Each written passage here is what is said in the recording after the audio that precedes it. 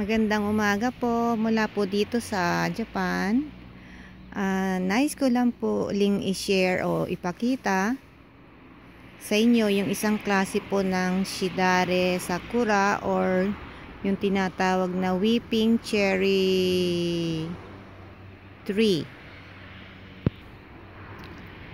Uh, ito pong uh, Shidare Sakura na to eh ibang klase naman po do ito kaysa dun sa yung lagi ko pong pinapakita sa inyo noon. Yung mga, yung mga previous video ko tsaka photos. Iba naman po ito. Kakaiba naman po siya. Yan tingnan po natin ang malapitan. Para po makita nyo. Punta po tayo dito sa medyo nasisikatan ng araw para po maliwanag. Pag po kasi nasa lilim, madilim. Yan po siya oh. Ang ganda-ganda. Maganda po sikat ng araw ngayon. Kaya maganda po nga mag-shoot o mag-video ng mga bulaklak. Alam niyo po itong puno na to, tinanong ko po kanina dun sa may-ari more than 40 years na daw po itong uh, puno na to. Sabi niya matanda na iking puno na yan. Ayan po, oh, nakabitin po sila, nakalaylay. Ang ganda-ganda po, oh. At saka ako naririnig po nyo, may mga ibon na nagtitweet-tweet.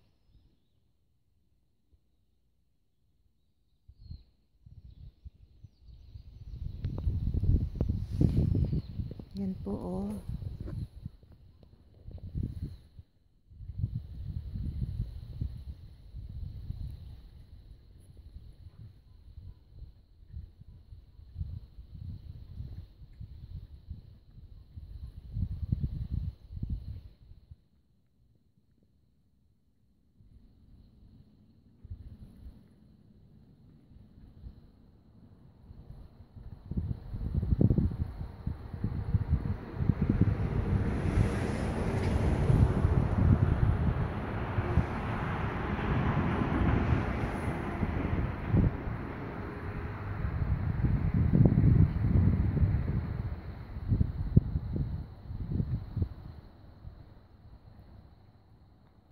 Punta po tayo dito sa puno niya.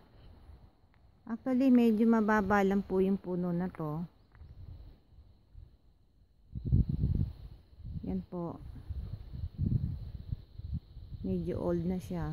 Nandito lang po siya sa gilid ng bahay nung kakilala kong haponesa. Yan po yung puno niya oh. Tapos kung mapapansin niyo po yung meron po yung parang damo na berde na yan Yomogi po ang tawag dyan. Kinakain din po siya.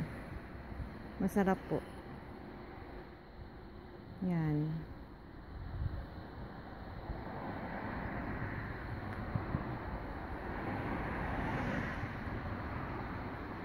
Nasa tabing kalsada po tayo kaya kung naririnig po niyo yung mga sasakyan nagdadaanan po.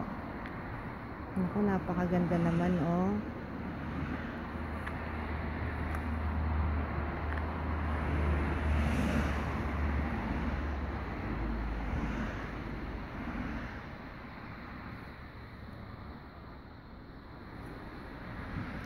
Okay, hanggang dito na lang po at marami pong salamat sa mga nanonood. Sana po napaglutang ko naman po ulit kayo ng panibagong uh, kasiyahan na makita po ang isang uri po ng uh, Shidari Sakura.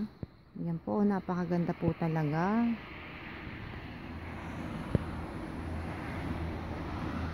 Okay, thank you for watching. Maraming salamat.